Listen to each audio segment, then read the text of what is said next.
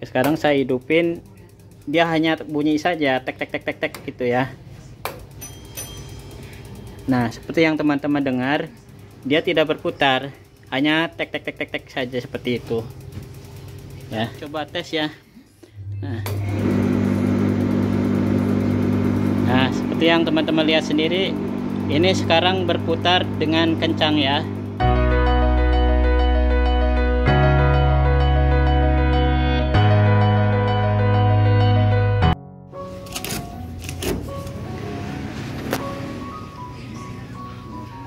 Assalamualaikum warahmatullahi wabarakatuh. Halo teman-teman kali ini saya akan berbagi tips kepada teman-teman yang di rumahnya atau di laundrynya mengalami kendala eh, mesin cucinya ataupun mesin pengeringnya tidak berputar ya. Artinya dia dengung saja diam saja tidak mau berputar ya. Oke? okay? Nah, di sini saya punya contoh mesin pengering ya. Ini saya punya mesin pengering 4 teman-teman ya. Nah, ini juga yang tiga ini saya beli second, beli yang rongsok kemudian saya perbaiki ya. Nah, banyak sekali kendala-kendala yang uh, dialami oleh saya mengenai mesin pengering yang second ini mulai dari uh, konversinya sering error ya saya perbaiki sendiri. Kemudian uh, yang kedua kendala tidak berputar seperti yang sekarang ya ini udah nyolok tuh. Udah ada colokannya di sana. Sekarang saya hidupin dia hanya bunyi saja tek tek tek tek tek gitu ya.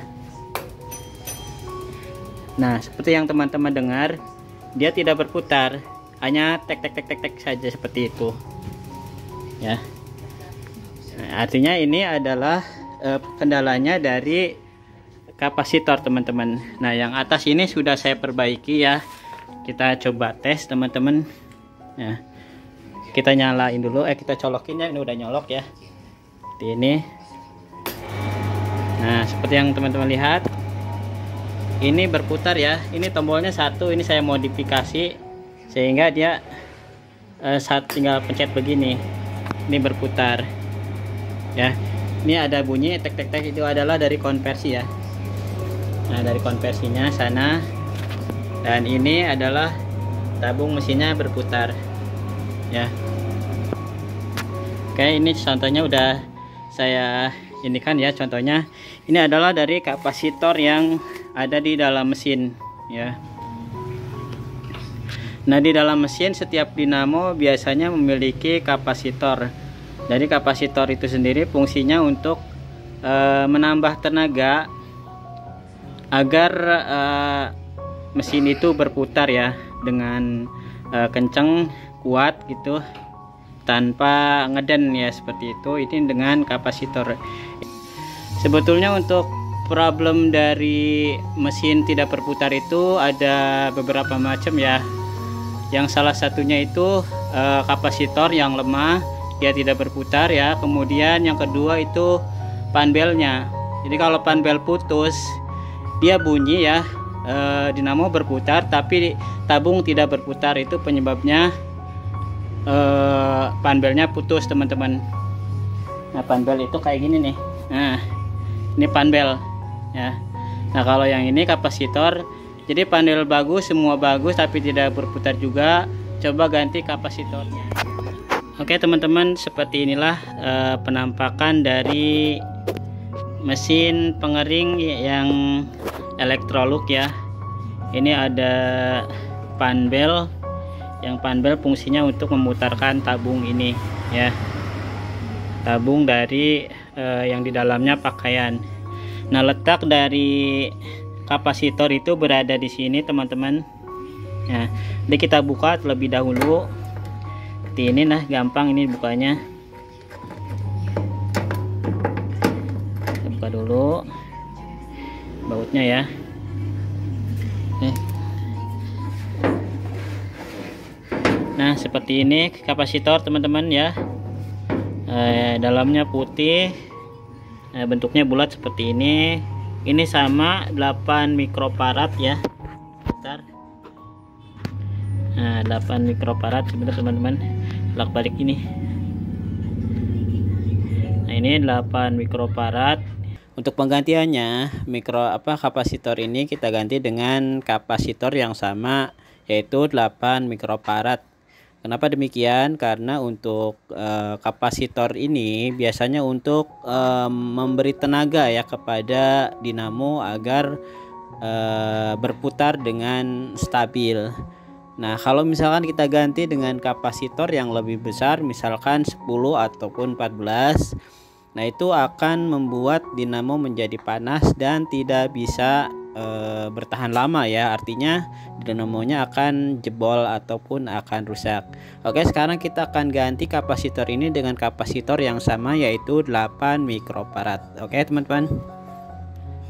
Untuk plus minusnya ini tidak ada aturan teman-teman mau kanan mau kiri ya sama saja yang paling penting adalah kanan dan kiri plus minus ya. Kelihatan ya? Nah, seperti ini dalamannya. Nah bagian sini. Ini adalah termostat yang mengatur suhu ya teman-teman. Jadi kalau misalkan pengering sudah panas banget dia mati sendiri apinya. Menggunakan termostat ini. Kemudian ini ada panel nah ini dalaman dari tabung atau mesin elektroluk ya seperti ini. Nah, oke teman-teman sekarang akan kita tes ya. Kita rapikan dulu kemudian akan kita tes ya gimana hasilnya apakah bisa berputar atau tidak. Oke?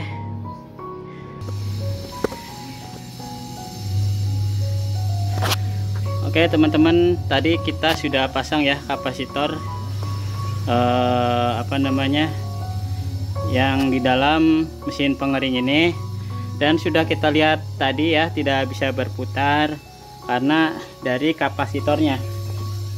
Nah penyebabnya adalah kapasitornya. Kita coba tes ya. Nah, nah seperti yang teman-teman lihat sendiri ini sekarang berputar dengan kencang ya ini ada bunyi tek tek tek tek itu dari konversinya oke kita matikan lagi. Sekarang kita tes kita coba lagi ya. Nah, nah sekarang sudah nyala sudah berfungsi dengan baik ya. Ini penyebabnya itu dari mana tadi teh? Penyebabnya dari kapasitor kapasitor ini berlaku untuk mesin cuci juga teman-teman ya. Oke itu saja tutorial kali ini. Terima kasih sudah menonton. Kita lanjutkan di video-video berikutnya. Terima kasih. Assalamualaikum warahmatullahi wabarakatuh